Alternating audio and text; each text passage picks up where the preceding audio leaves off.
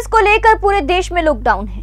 वहीं उत्तर प्रदेश के हरदोई के तरबूज की खेती करने वाले किसान अपनी फ़सल को बाज़ार में बेचने को लेकर बहुत परेशान हैं। किसान 10 से बारह हज़ार रुपए प्रति बीघा पर माल गुजारी खेत लेकर खीरा, ककड़ी, तरबूज की खेती करते हैं। तरबूज की खेती तैयार हो गई।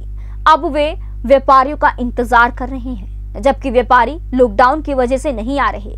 इसका प्रभाव उनके कारोबार पर सीधा पड़ा है। आखिर इन तरबूजों का किसान क्या करे?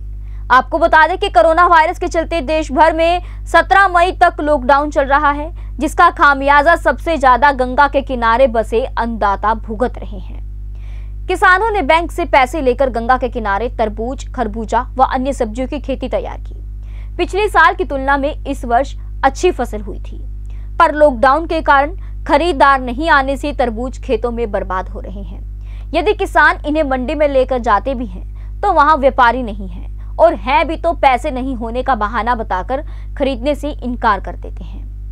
तरबूज का निर्यात नहीं होने से तरबूज खेतों में सटने को मजबूर है, जिसके चलते किसानों के सामने रोटी का संकट खड़ा हो गया है।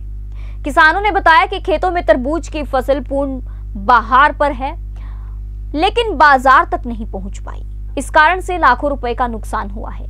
किसानों का कहना है कि पूरा परिवार पिछले दो माह से तरबूज की फ़सल को तैयार करने के लिए खेतों में डटा रहा। बारिश और ओले से हमने फ़सल को बचाया। फ़सल पूरी तरह से तैयार है। एक एक तरबूज आठ से दस किलो का है। मार्च में लॉकडाउन होने के कारण फ़सल बाज़ार में नहीं जा सकी और खेतों में सड़ रही है। किसानों का कहना है कि यदि जल्द सरकार ने तरबूज की खरीदी नहीं करवाई तो सैकड़ों किसान भुखमरी के कगार पर आ जाएँगे। हरदोई से संवाददाता शाहिद अली की रिपोर्ट। हाँ हमारी सौ बीघा परहेज लॉकडाउन की वजह से बाहर कहीं जा नहीं तरबूज रहा है खेत में कल सब नाश हो रहा है। लाखों रुपए हमने ब्याज पर लगाया दूसरों को उनको देने की कोई व्यवस्था नहीं है। सरकार की तरफ़ से कोई हमको सहूलियत नहीं मिल रही है हमारा तरबूज बाहर कहीं जा ही नहीं रहा है भर तक नहीं रहे हैं यहाँ से भर भरा ही नहीं जा रहा है। और हम किसान लोग बहुत परेशान है केवल माथे पर हाथ धर के रो, रोना ही पड़ता है रोना की वजह से लटकना ही पड़ेगा ऐसे भी और नहीं है कोई।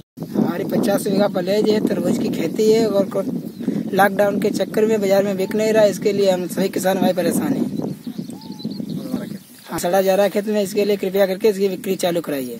हमारी तरबूज की खेती पचासों बीघा है तरबूज सब खेतों में गला जा रहा है बाहर नहीं जाता है कोई उसमें लागत भी नहीं निकल रही है बर्बाद हो चुके हैं। लॉकडाउन के कारण हमारा तरबूज सब खेतों में गला जा रहा है। अच्छा इसलिए कोई मंडी में बिक नहीं रहा है।